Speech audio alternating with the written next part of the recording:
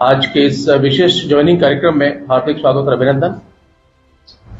मित्रों, आप जानते हैं कि राजस्थान की राजनीति में ही नहीं बल्कि पूरे भारतवर्ष की राजनीति में आम आदमी पार्टी का विशेष स्थान है। और स्थान इसलिए कि हम जिस तरह की राजनीति करते हैं, वो जन जन से जुड़ी है, जनता से जुड़ी है, और जनता और जन की जिन अपेक्षाओं की उम्मीद होती है, उनसे जुड़ी है। और यही कारण है कि शिक्षा के क्षेत्र को ले लें, कला के क्षेत्र को ले लें उद्योग के क्षेत्र को ले लें, खेल जगत को ले लें, सभी जो प्रतिभाएँ हैं, वो आम आदमी पार्टी का चुनाव करती है, रुख करती हैं।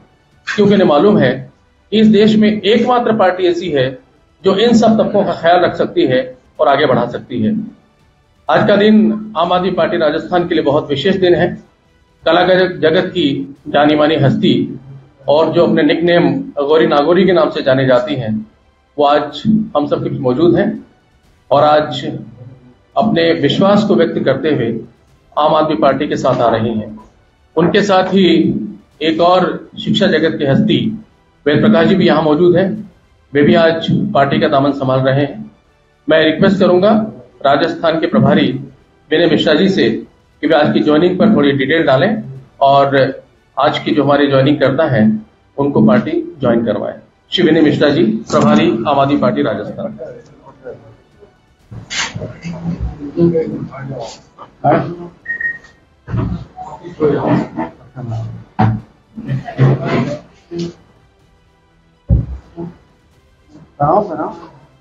辛苦一下，辛苦。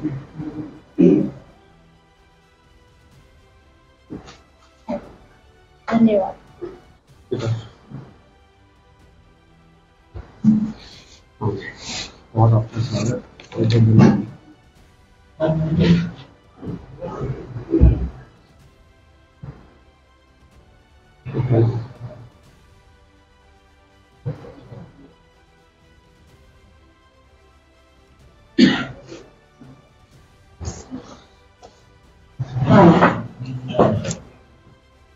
सभी का बहुत स्वागत। मुझे बहुत खुशी है कि राजस्थान की एक नागौर से निकली हुई बेटी जिसने सिर्फ़ राजस्थान में ही नहीं, पूरे देश में राजस्थान का नाम रोशन किया और बिग बॉस बिग बॉस जैसा बड़ा कार्यक्रम, जिसमें जाने के लिए पूरा देश ललायत और बड़े बड़े सेलिब्रिटी जिसका हिस्सा बनना चाहते हैं, उस बिग बॉस का हिस्सा रही गौरी नागौरी, जिनका रियल नेम तस्लीमा बानो है। आज आम आदमी पार्टी दामन थाम रही है।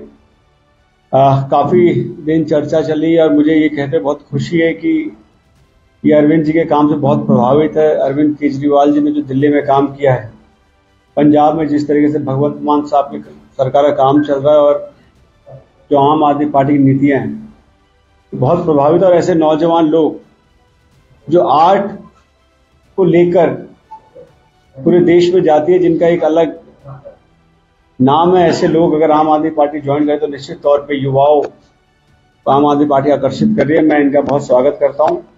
मेरे साथ वेद प्रकाश जी भी हैं, जो प्रदेश कांग्रेस कमेटी के प्रवक्ता भी हैं और आज ये भी हमारे पार्टी दामन थाम रहे हैं। इन्होंने भी इनके काफ़ी इंस्टीट्यूट्स हैं और ये काफ़ी बच्चों को इंजीनियर बना चुके हैं।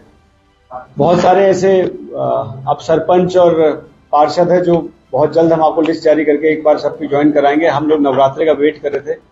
बहुत सारी ज्वाइनिंग लाइन में कुछ एक्स एमएलए भी हैं और कुछ वर्तमान एमएलए भी हैं, जो मैं आपको कहना चाहता हूँ ऑन रिकॉर्ड कहना चाहता हूँ, कुछ वर्तमान एमएलए भी हैं जो पार्टी ज्वाइन करने जा रहे हैं और बहुत जल्द हम आपके बीच उनको लेके आएँगे। जैसा मैंने कहा था कि बहुत सारे लोग, श्री अरविंद केजरीवाल जी से प्रभावित है तो बहुत से लोग से चर्चा चल रही थी। अब वो समय आ गया, हम बहुत जल्द परत दर परत आपके सामने उनको लाते रहेंगे और आप देखेंगे कि आम आदमी पार्टी में बड़े बड़े लोग आम आदमी पार्टी दामन थामेंगे। आप सबका बहुत बहुत धन्यवाद। मैं पहले गौरी जी से गुजारिश करूँगा अपने वक्तव्य उसके बाद वेद प्रकाश जी।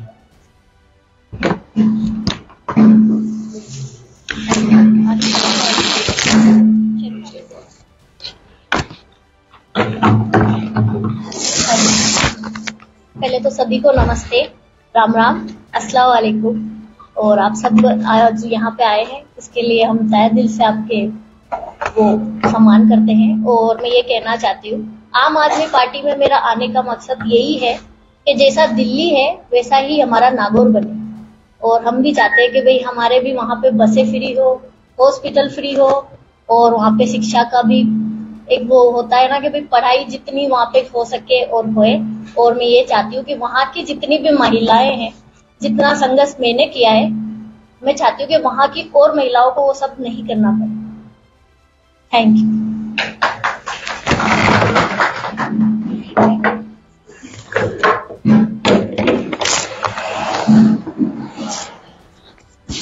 धन्यवाद, विनय सर, और सभी आम आदमी पार्टी पदाधिकारियों का और श्री अरविंद केजरीवाल जी का कि मुझे मौका दिया उन्होंने इस पार्टी में सेवा करने के लिए आने का मौका दिया। उसके लिए धन्यवाद। आप सबका भी बहुत बहुत धन्यवाद। मैं पूर्व में जेडीए जयपुर डेवलपमेंट अथॉरिटी में इंजीनियर रहा हूँ सरकारी इंजीनियर गवर्नमेंट में वहाँ से मैंने रिजाइन किया, उसके बाद मैं सामाजिक सेवा में सक्रिय हूँ शिक्षा के क्षेत्र में।